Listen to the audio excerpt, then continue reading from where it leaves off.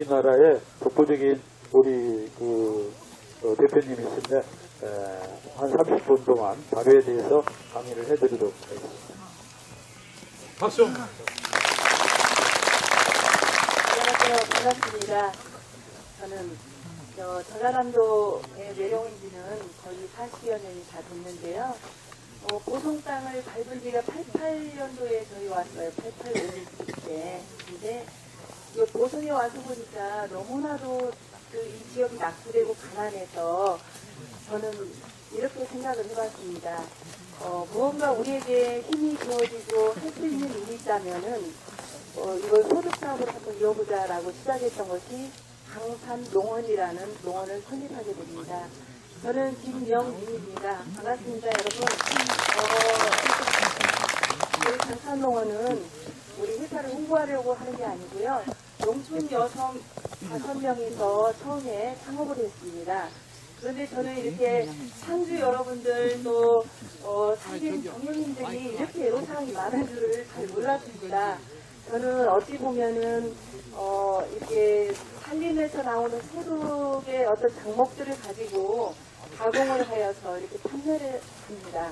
그런데 어, 회장님께서 이렇게 그 꼬리뽕을 발효하는 거를 어, 오늘 강의를 해주라고 그래서 굉장히 고민을 했습니다. 왜냐면은 요즘은 이 발효액이라는 게 예전에 뭐 효소라고 해서 한때 굉장히 히트를 치고 붐이 있었던 시절이 있었습니다. 그런데 어, 요즘은 이 발효액이 예전 같지 않아요. 명성이. 그래서 어, 저희가 2013년도에는 아마 수출을 발효액으로 한 100만 달러 정도 했었습니다. 그런데 지금은 발효액으로 수출을 거의 좀 미비합니다. 그렇지만 여러분들이 오늘 여기 이 자리에 오시는 것이 사실 어떻게 보면 소음이라고 생각을 하세요. 왜냐하면 제가 소식 때문에 짧게 말씀을 드리고 싶은데요. 어, 이, 그, 우리 산림 경영인들도 이렇게 보시면은 각 그 작목들이 아마 다 다른 줄로 알고 있습니다. 어떤 분들은 뭐 황치를 하거나 꼬지뽕을 하거나 뽕나무를 하거나 그런데 이 발효라는 거는 어떤 어, 그 작목이든지 간에 다 적용이 된그 발효식물 속에 어떤 유해하거나 또 규격이 미달되거나 이랬을 때 문제가 됩니다. 그래서 오늘은 저는 정말 짧게 여러분들에게 강하게 이렇게 가르쳐 드리려고요. 근데 오늘은 제가 주제가 꾸지뽕이에요. 그래서 꾸지뽕을 보면은 이 꾸지뽕 열매는 이 달면서도 어떤 좀 특유의 향이 납니다. 그런데 어, 꾸지뽕 열매를 보면 하얀 가루도 있고 또 거무스름한 것도 있습니다. 그런데 다 괜찮아요. 그리고 이 꾸지뽕을 여러분들이 만약에 오늘 가지고 가시면은 이건 세척할 필요가 없습니다. 왜냐하면 야생에 우리가 자라고 이렇게 좋은 자연 환경에서 자라고 있기 때문에 여기에 뭐 정말 나쁜 어떤 것들이 존재하지가 않습니다. 저는 그 예전에 가장 많이 발효를 했던 것이 송화였습니다. 소나무의 어린 순을 따다가 이렇게 당을 넣어서 발효를 했는데 어, 그 발효를 하면서 한 번도 세척을 해본 적이 없습니다. 그럼에도 불구하고 그 세척 과정을 거치지 않았어도 거기에 어떤 곰팡이 독소나 또 뭐 세균이나 또 대장균 이런 거는 한 번도 나오질 않았습니다. 그런데 오히려 토양 속에서 나온 그 도라지라든가 우엉이라든가 그런 식물들은요 발효를 하면 세균이 어마어마하게 나옵니다. 그래서 저는 그 뭐 농약을 했다거나 뭐 그러면은 이렇게 세척을 하는데요. 여기 이렇게 천혜의 자연 조건에서 윤재림에서 자란 이런 꾸지뽕은 여러분들이 세척할 필요가 없다는 걸 말씀을 드리고요. 이 꾸지뽕을 처음에 발효를 하실 때 먼저 이제 재료, 재료를 선별을 하셔서 내가 빨리 발효를 하고 싶다 그러면은 이거를 좀 으깨 주셔도 됩니다.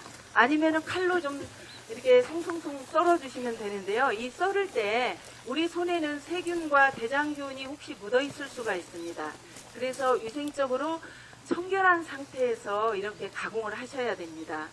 지금은 이제 발효음료나 뭐 식초라든가 이런 게 그닥 인기가 없어서 그렇지만 아마도 여기 이렇게 오셔가지고 저한테 강의 듣고 나도 이거 만들어서 상품 한번 해봐야 되겠다 하셔서 아마 저보다 더 매출이 또 뭐 수년 후에 더 또 띄울 수 있는 그런 능력 있는 분들도 저는 충분히 있으리라고 생각을 합니다.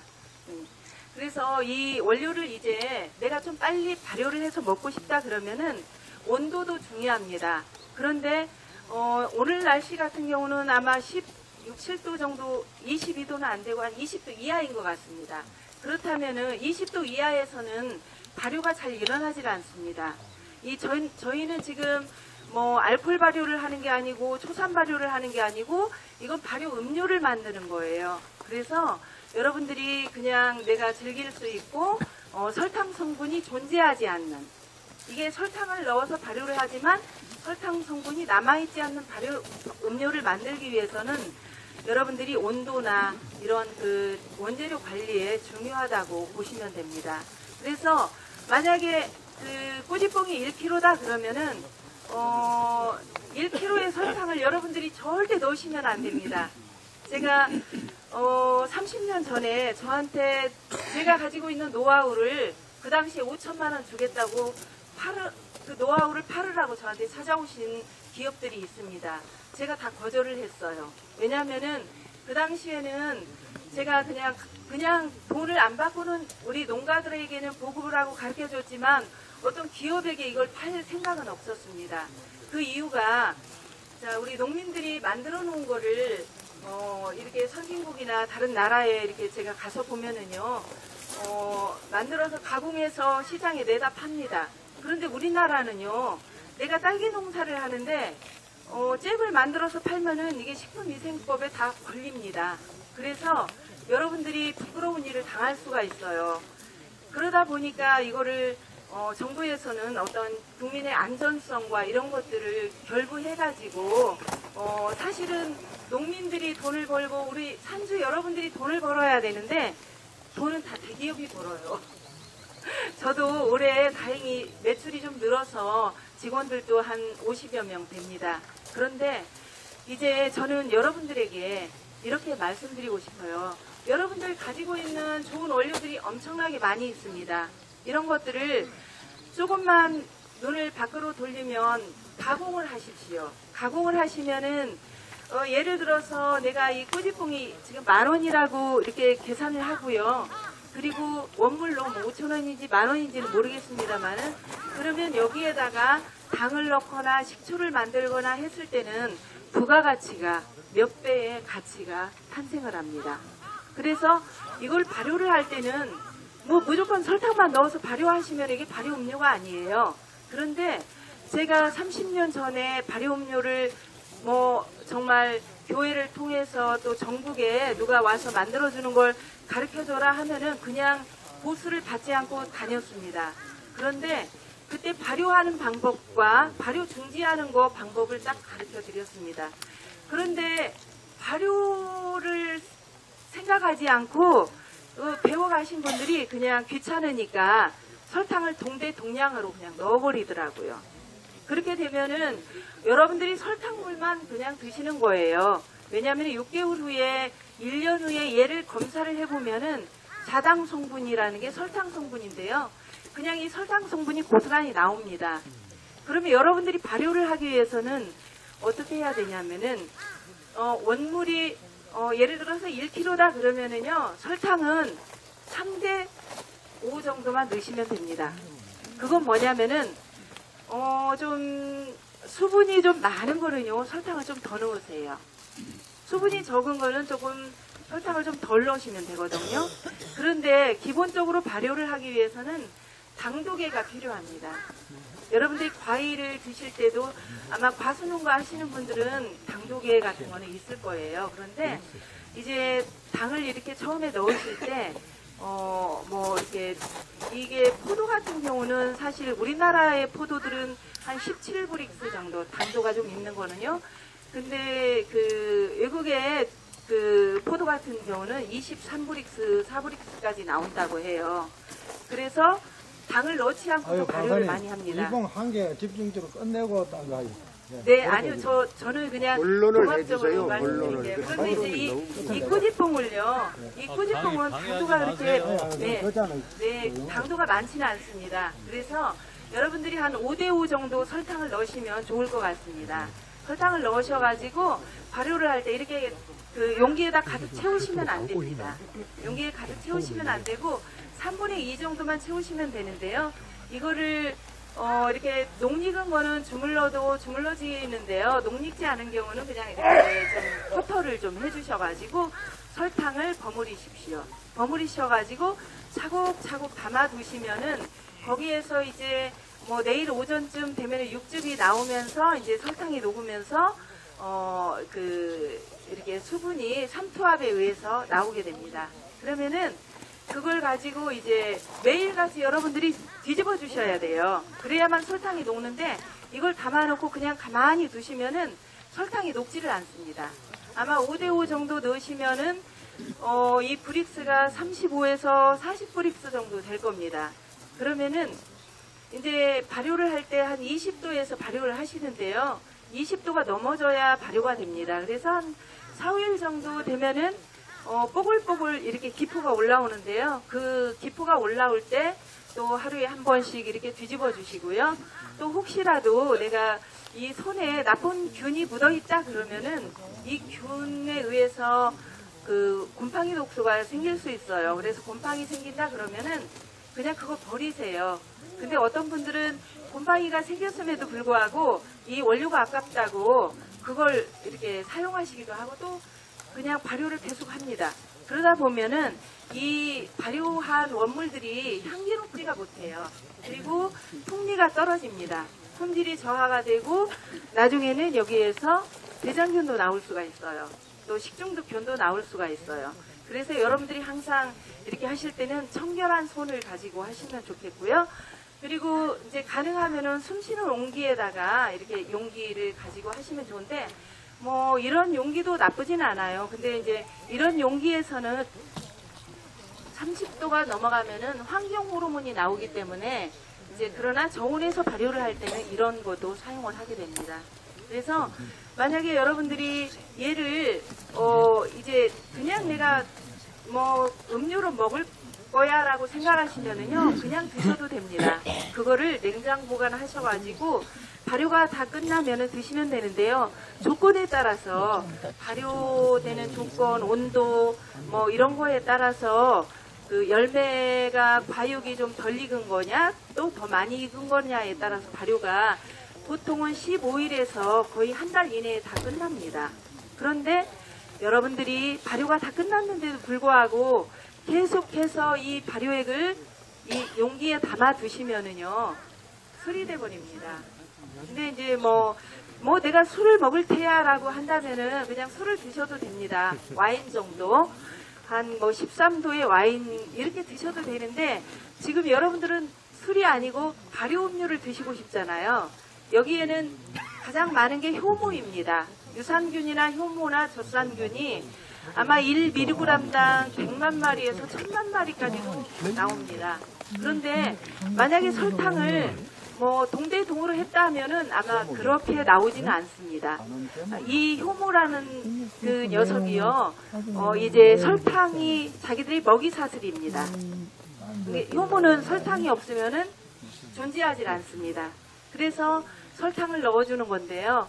이 설탕을 넣어서 발효를 할 때 효모들이 왕성하기 때문에 뽀글뽀글 이렇게 거품이 생기면서 기포가 올라옵니다. 탄산가스 맛도 나고요.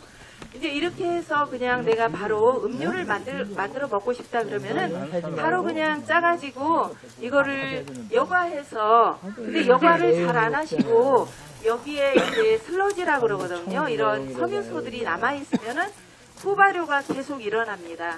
그래서 여러분들이 만든 것들을 이제 광목 같은 천에다가 뭐 두세 번 정도 여과를 해주시고 그래도 이제 살이 좀 말랑거려서 얘가 과육이 좀 빠져나왔다 싶으면은 어 얘들을 어 그 이렇게 건져주는 거 있죠. 촘촘한 거름망으로 건져주시면 어느 순간 아주 맑고 깨끗한 이런 음료가 됩니다.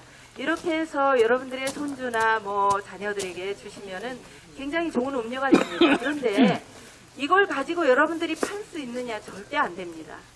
얘를 아마 시중에 팔려다가 큰일 납니다. 왜냐하면 규격도 안 맞거니와 얘가요 이제 유통하다 보면은 밀봉을 했을 때 내가 이- 지금 아는 지인한테 선물을 해줬어요.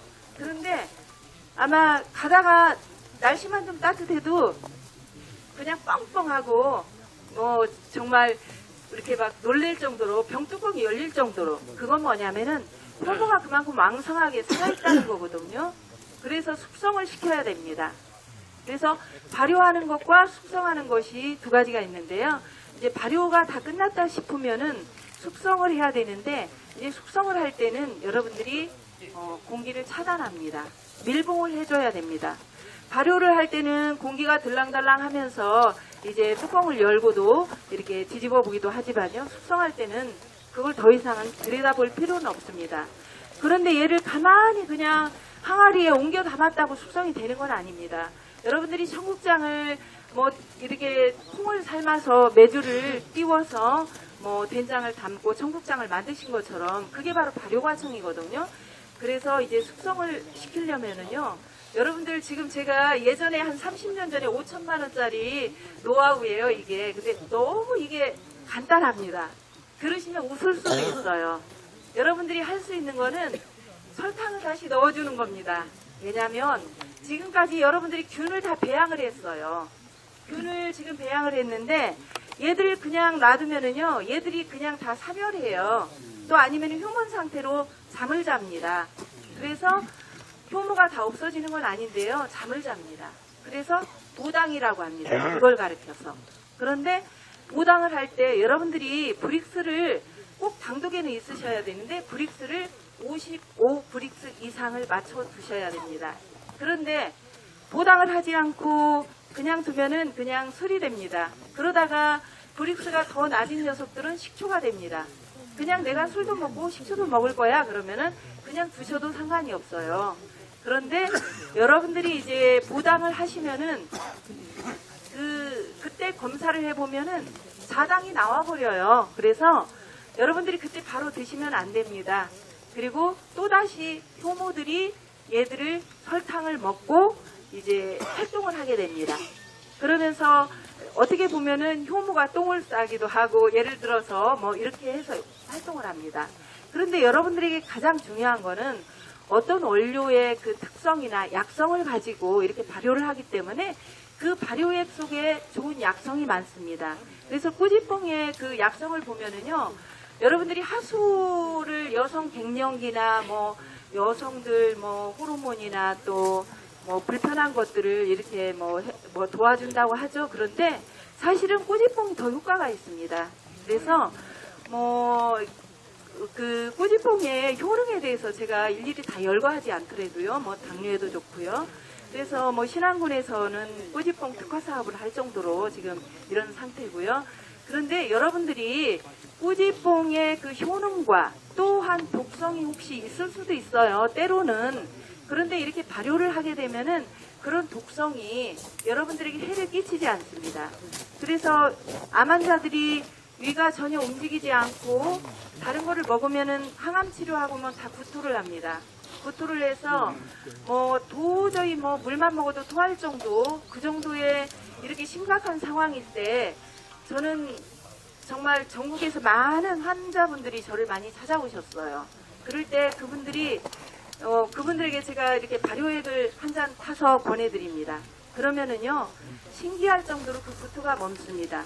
그 이유가 뭔지 저는 이제 생각을 해봤습니다.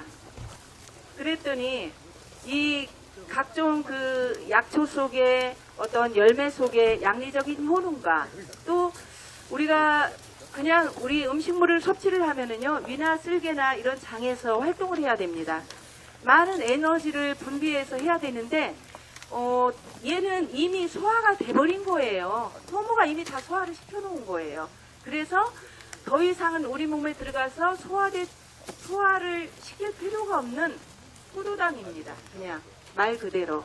그래서 여러분들이 이제 가정에서 뭐 포도를 하시거나 예를 들어서 어, 저는 뭐 봄에 나오는 솔잎이나 송화를 많이 합니다. 그런데 이제 만약에 물이 이렇게 수분이 없는 애들을 할 때는요, 시럽을 만들어서 하시면 돼요. 제가 오늘 짧게 하기 때문에 다 말씀을 드릴 수는 없지만요, 이렇게 응용을 하셔가지고 브릭스라든가 이런 걸 맞추셔서 하시고요. 또 한 가지, 어, 근데 여러분들이 이제 발효를 하실 때 제 이야기를 듣고요. 보당을 하라고 그랬기 때문에 그냥 가셔가지고 무조건 설탕을 동대동량으로 또 하실 수도 있어요. 그렇게 되면 여러분들이 그냥 어, 우리 몸에 좋지 않은 자당을 설탕을 그냥 먹는다고 생각하시고요. 그리고 이걸 발효를 할 때는 꼭 백설탕이 아닌 황설탕을 쓰시면은 이게 그 사탕수수에서 바로 만들어진 그 설탕을 쓰시는 게 가장 좋고요. 꿀로 하셔도 좋습니다. 그런데 올리고당이 예, 뭐 다이어트 식품이라고 해서 올리고당으로 발효를 하면 발효가 안 됩니다. 그래서 여러분들이 꼭 설탕이나 꿀이나 조청 다 관- 관계가 없습니다.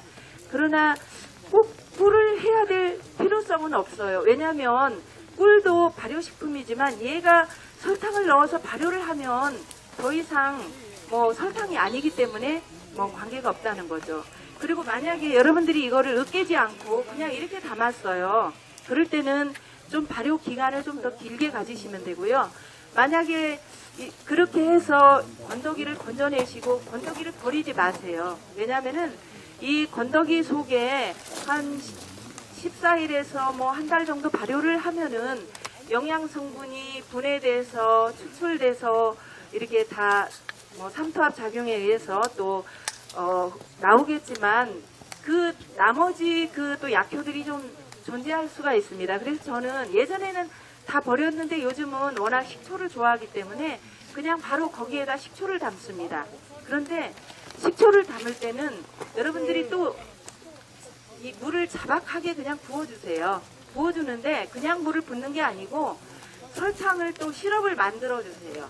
시럽을 만들어 가지고 딱 10, 12 브릭스만 맞춰주세요. 근데 이제 한 24 브릭스 정도를 맞추면은 알코올 함량이 한 12에서 13도의 알코올이 나옵니다. 그러면 다시 물을 좀 섞어서 6, 7도의 알코올로 만들기 때문에 아마 여러분들이 그렇게까지 전문적이고 그렇게 하시기에는 매일같이 알코올 농도도 재봐야 되고 이제 저희 회사는 다 재봅니다만은 그러기 때문에 여러분들이 그냥 가정에서 드실 때는 그냥 편안하게 이제 그렇게 만드시면 됩니다. 왜냐하면 내가 팔 물건이 아니기 때문에 상품이 아니기 때문에 뭐 산도가 좀 약해도 상관은 없어요. 그런데 12 브릭스가 우리 혀 끝에서 가장 그 맛도 좋아요. 너무 달지도 않고 너무 뭐 좀 밋밋하지도 않고 그렇게 해서 다시 이렇게 맞춰 놓는데요. 이때는 만약에 내가 식초를 담고 싶다 그럴 때는 어, 온도를 좀 높여줘야 됩니다. 그런데 처음부터 온도를 높이면은 얘가 안 됩니다. 왜냐하면 알콜 알콜로 먼저 만들어야 식초가 되기 때문에 그래서 여러분들이 뭐 제가 오늘 짧은 시간에 뭐 발효에 뭐 이렇게 강의를 한다고 뭐 저기 하시지 마시고요. 이런 응용할 수 있는 좋은 기회라고 생각하시고 그렇게 하시는데 알코올 발효를 할 때는 25도 이상 넘어가면 안 됩니다. 그런데 이제 알코올 도수가 나오게 되면 한 두 달 정도 되면은 뭐 알코올은 뭐 한 달 정도도 나올 수 있어요. 그런데 뭐 이렇게 돼서 다시 이제 건더기는 건져버리고 여과를 또 합니다. 그렇게 해서 얘를 초산 발효를 할 때는 여러분들이 가지고 있는 살균되지 않은 좋은 종초를 10% 정도 아니면은 내가 자신이 없다 그러면 20% 정도만 넣어주시면 됩니다. 그러면은 이 종초가 초산을 이제 같이 이렇게 활성화를 시켜줍니다.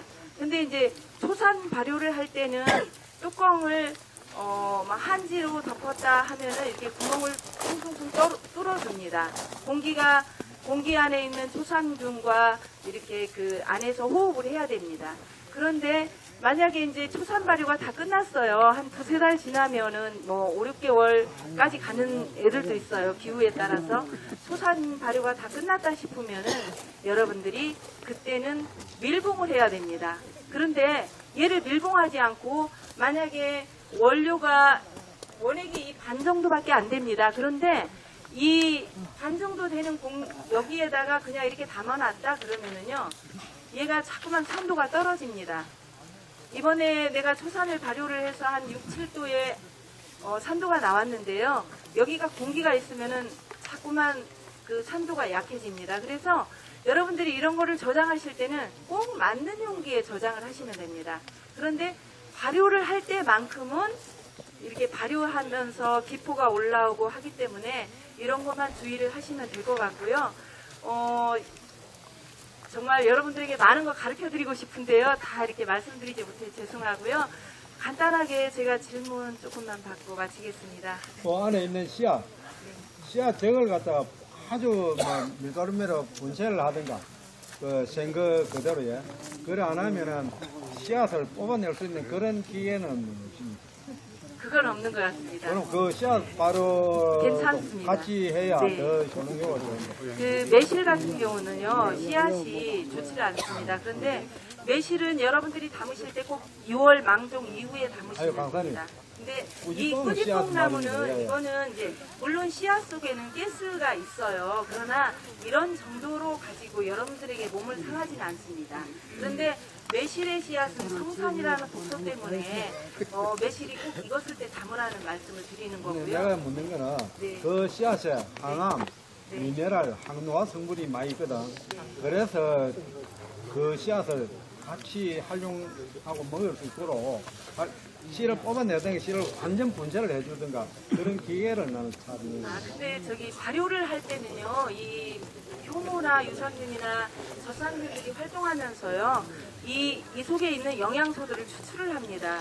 그래서 여러분들이 발효 음식과 일반 음식은 그냥 일반 음식들은 끓여서 이렇게 하기 때문에 그 정말 깊이 들어있는 영양소들을 추출해낼 수가 없습니다. 그런데 여러분들이 그 세제에 사용하는 것도 효, 효소로 만들어집니다. 때를 분해하는. 그래서 이런 효소를 담그게 되면은요, 굳이 뭐 그 씨앗을 추출해서 따로 하지 않아도 그 성분들을 여러분들이 섭취하신다고 생각하시면 돼요. 아, 그 정말 빨리 나온다. 네. 저, 한 가지만 좀 여쭙겠습니다. 이, 조금 어려웠기는 어렵네요, 그게. 근데 아까 제가 이해가 안 가는 부분이 처음에 에, 당도가 높지 않다. 그게 중요하다 그랬는데 설탕을 5대 5로 열하는 말이 부직봉 5kg에 설탕이 5kg라는 말인지 5대 5라는 개념이 뭘 얘기하시는 거예요? 아, 실수했습니다. 죄송합니다. 이게 1kg면은 설탕을 5kg 정도만 넣으시라는 아, 말씀이었습니다. 이거 1kg에 설탕 5kg. 네. 그러면 아, 당도가 500g. 엄청 올라가는데 그래도 네. 당도가 안 올라가요? 네. 당도가 엄청 올라갈 건데 500g 정도 넣으면은 아까 브릭스가 40브릭스 안 아니 그러면 1kg에 500g이에요? 5kg가 아니고? 예, 예, 500g. 아, 네. 근데 근데 30g만 넣으셔도 그래도 그게 당도가 올라가지 않는 비법이 뭡니까? 이제 효모가 그 당 성분을 먹이로 삼아요. 그래서 그거를 분해해주는 어떤 그게 식량과 같은 겁니다. 아니 그 구직 구직봉 500g에 설탕을 5kg 넣으라고요? 아니 아니 제가 아까 많이 실수한 것 같습니다.